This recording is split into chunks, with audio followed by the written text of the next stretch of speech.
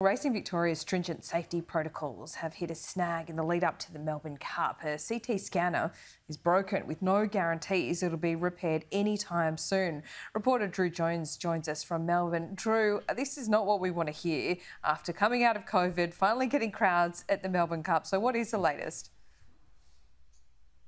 Yeah, so unfortunately, with all, uh, I guess, the drama with horses in recent years, there have been extra safety protocols put in place by Racing Victoria and the VRC ahead of the Melbourne Cup because they want to make sure the safest possible working environment for not only the jockeys but also the horses as well. Six deaths in the last seven years have made sure that they've got this CT scanning uh, technology that they want to be able to put all the accepted horses through before they're finally approved to race in the Melbourne Cup. So 19 of the 35 acceptors have gone through, but unfortunately, a few days ago, the CT scanner broke. So it's, I think they said over the journey they've scanned over 200 horses. They've never had any issues. So they've sent away the part to the USA, but there's no guarantee, as we know, it's snail mail at the moment, and all it's got to get to get back into Australia. It's got to go through a couple of checks.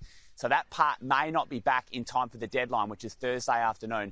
So we're at the Werribee UVets at the moment, and that's where the remaining horses will come through and get some checks in the lead up to Thursday to make sure or to minimise the chances of them carrying any injuries or being lame going into the race.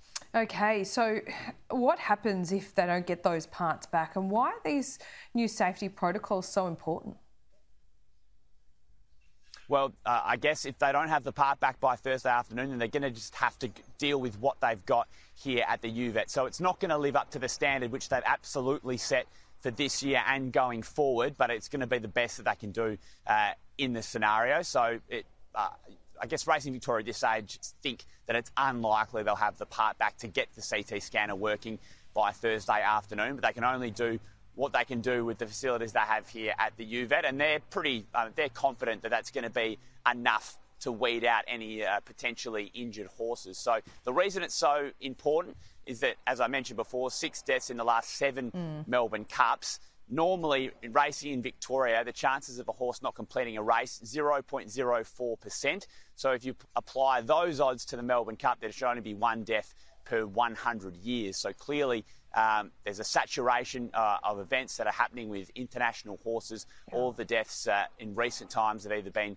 from Japan or Europe. You have to go back to the 1970s for an Australian horse to have passed away competing in the event. So, as you can understand, the safety protocols have really been ramped up. So, and they've already ruled out two horses due to using this CT scanner. So, hopefully, they can pick mm. up anything that happens or anything that's going on that we don't know about or that the preliminary checks from vets and trainers haven't picked up so we can make sure that this year's edition of the Melbourne Cup and the whole Melbourne Cup Carnival is a safe event for the horses.